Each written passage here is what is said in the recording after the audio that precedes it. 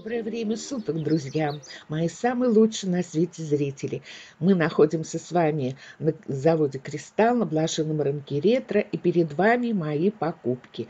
Покупок, как вы видите, очень много. Сейчас я постараюсь рассказать о них, но боюсь, что в одном видео не, не получится, и придется делать вторую серию. Два года тому назад на заводе я купила вот такой гжелевский замечательный чайник. Посмотрите, он такой фран, такой фран, замечательный, красивый чайник.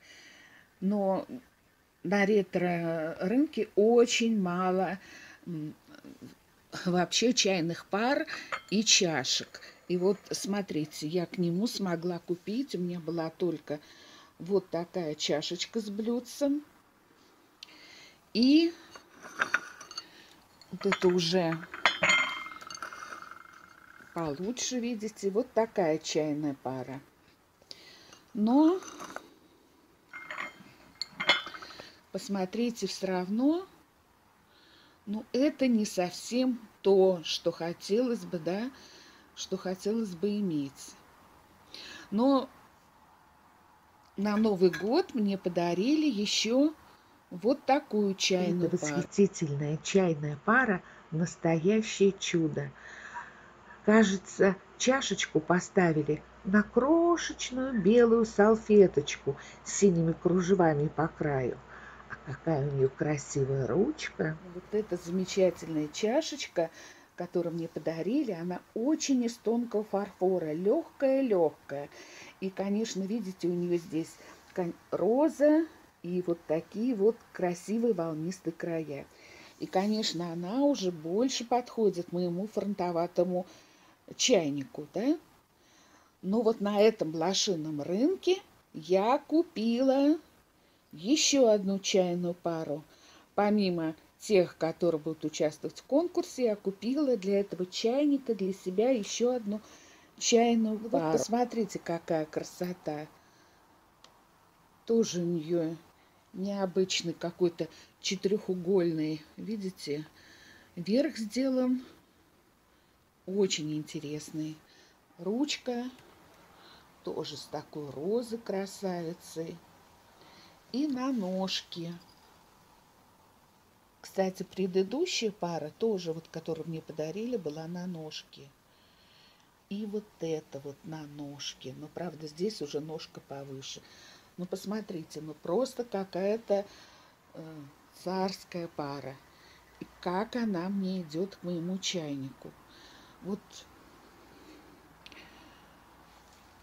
Вообще это удивительно. Да, причем еще хочу сказать, что блюдечко было отдельно. Мне его, кстати, нашла галочка. Огромное ей спасибо за блюдечки. Ну, а вот чашечку нашла там я. И получилась такая изумительная чайная пара. Мне кажется, все очень подходит друг к другу.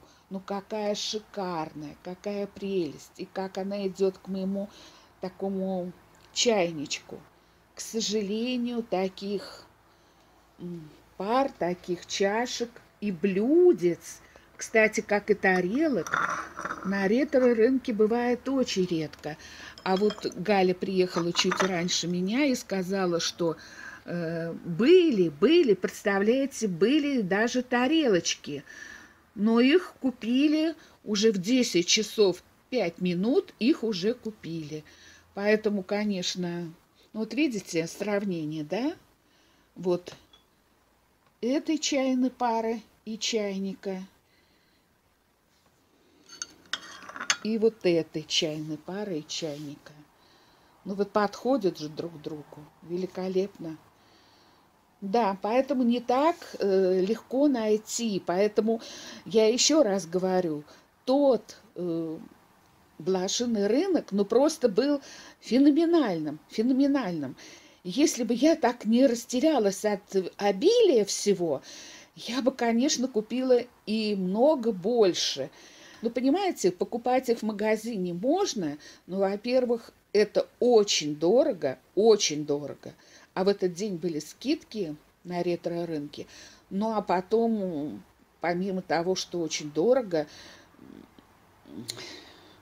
вы можете не подобрать то, что вам вот подходит к чайнику. Вот, например, купить какие-то чашки в этом стиле, да, или, например, чашки, которые я купила и посылаю Наденьке Ну, вот такая чайная пара, да, очень красивая, но ведь к моему чайнику-то не очень подходит – потому что в гжеле еще есть много разных стилей, много разных стилей. И э, много разных стилей рисунков. Все подобрать очень сложно. Но как интересно, как интересно. И какие приятные вот бывают встречи и находки на блошином рынке. Ну вот я не знаю, мне кажется, что коллекционер в этом заключается. Но прийти в магазин и что-то купить – ну, скучно это, ребя, это, девушки мои. Ну, согласитесь, мои дорогие, ну ведь скучно. А вот вам и немецкий кольвец. Тоже, конечно, чашечка на ножке. И здесь золотом тоже расписано, но внутри это, конечно, не ручная роспись. Ну и разве можно сравнить вот с этой какой-то царской-царской парой, где все ручная роспись. И, кстати, этот кольвец стоил очень дорого, намного дороже, чем вот, вот эта красота наша, которую мы не ценим почему-то. Ручная роспись, ручная роспись. Разве можно сравнить? Вот ради такого дня, чтобы поехать на рынок и купить такую красоту. Да, но вот в этом мы и суть коллекционера. Боже мой, и какая-то радость, когда ты покупаешь такую чайную пару. Кстати, 200 рублей чашка и 200 рублей блюдце. Всего 400 рублей за такую красоту. А вот еще одна моя покупка. Нежная чайная пара и как вы видите, здесь уже совсем другой декор. И эта чайная пара с чайничком сейчас уже в дороге в Украину в качестве приза. Кстати, чтобы вам понять, ну, вообще мы, меру моего счастья, я вот вам хочу показать эту чашечку-бокальчик которую до этого вот были, продавались на э, этом блошином рынке, ретро-рынке. И я ничего лучше даже не видела и хотела даже послать конкурсанта.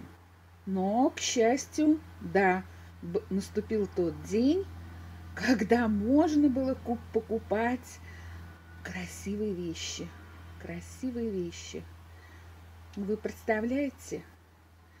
Вот. А и я вот. продолжаю вам рассказывать о своих покупках.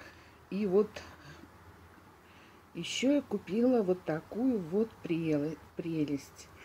Ну, если посмотреть на рисунок, то это, конечно, уже не розы, это хмель. Вообще, конечно, необычный рисунок. Я первый раз встретила. На гжеле его, посмотрите и шишечка хмели сверху, да?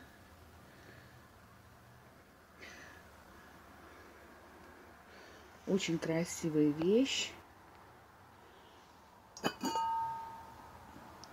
Ну, я думаю, что это для какого-то горячего, я не знаю, может быть, для жаркого, а может быть и для пельменей, пельменица такая не знаю, ну, в общем, такая вещь, конечно, необычная. Но раз уж я открыла, сейчас я вам покажу. Здесь э, целых два и автор работы, и исполнитель работы. В общем, две подписи. И видите, по всей видимости, ее делали на, э, она продавалась на то, чтобы она уехала за границу. Ее продавали, по всей видимости, в Березке. И вот посмотрите, какие у нее такие же необычные ручки, очень красивые. Вот очень красивые.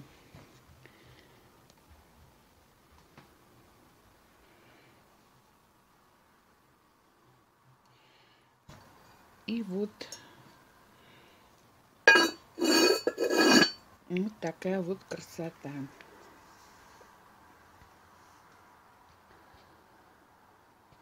Мне кажется, она послужит для украшения стола любого. Ну вот я не удержалась и купила эту вещь. Хотя сомнений было много.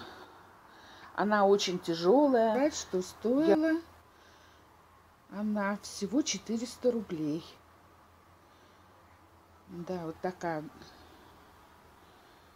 большая тяжелая вещь, крупная, красивая.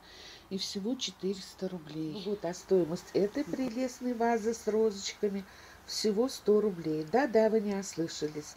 И это потому, что здесь, ну вот если присмотреться, есть небольшой скольчик. Но он, во-первых, не заметен, а во-вторых, я думаю, цветам это не помешает никак. Ну, у меня есть еще одна вазочка. Маленькая пузатенькая вазочка. Здесь уже видите золото есть. Ну, может быть, было, потому что осталось очень мало. Она старая, и видно, ей совсем часто пользовались. Посмотрите, какие цветы. Золото на листочке еще чуть-чуть сохранилось. И на цветочках в середине. Но это старая-старая гжель, и этим она очень цена. И я даже помню, как у моей бабушки была такая вазочка, только, мне кажется, чуть-чуть побольше. И эта вазочка тоже стоила 100 рублей. Вот скажите, вам встречалась такая прелесть? Вы видели ее? Вот я видела первый раз. Первый раз. Ну, а купила я там вот такую вот замечательную вещь с петушком наверху и с такими же розами, как и на моем чайничке. Ну, почти с такими. И это я купила для Пасхи.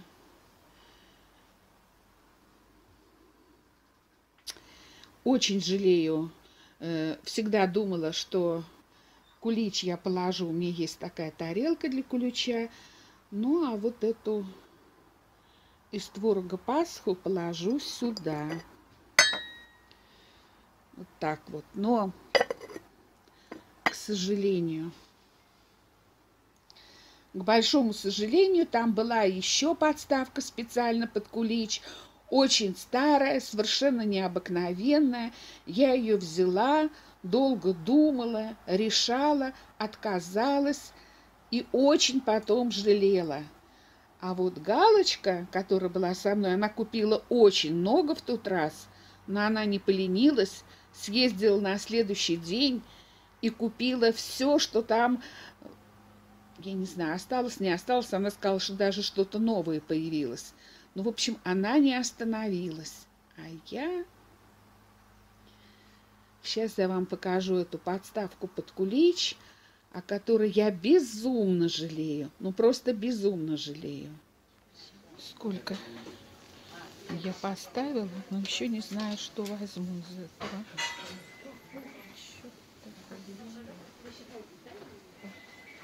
Про эту подставку, которую сейчас вы видите сзади корзиночки, я и говорю. У нее очень такой массивный низ, очень хороший. И наверху э, это под идеально под кулич. И видите, там не просто рисунок, а там э, и листики, и, по-моему, даже ягодки, желуди, как будто бы вылеплены из теста. Но они имеют такой объем 3D. Вот. И смотрится, конечно, это все ну, просто великолепно. Но такой красоты из гжели я не видела. Очень пожалела. Да, она была тяжелая, и все равно очень пожалела. Смотрите, какую я солонку купила симпатичную в виде рыбки. Посмотрите, какая прелесть. Она не занимает много места, потому что у меня уже стол-то будет совсем заставлен к желью. Ну, это будет, мне кажется, слишком много. Но она такая маленькая. Кстати, я там купила блюдечко Дулева. Правда? всего одно. Ну, вы помните. Вы помните, что у меня Дулева есть вот такая чашечка, шиповник. Ну вот к нему точно такое же ребристое блюдечко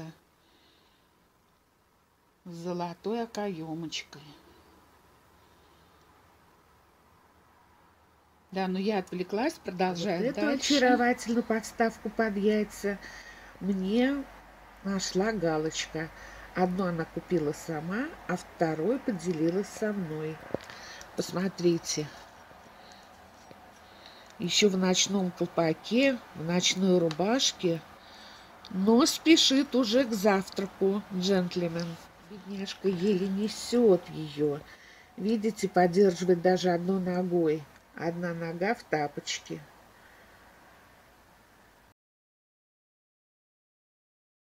Знаете, чем нравится эта вазочка? Тем, что она тяжелая такая и видите, сколько покупаем. И, э, во-первых, сюда можно пойти, тяжело переворачиваться не будет, там на любые цветы. Ну, это да. Но длинный все равно вы поставите сюда цветы. Ну а длинный зачем? Длинную тарелку тоже не буду брать.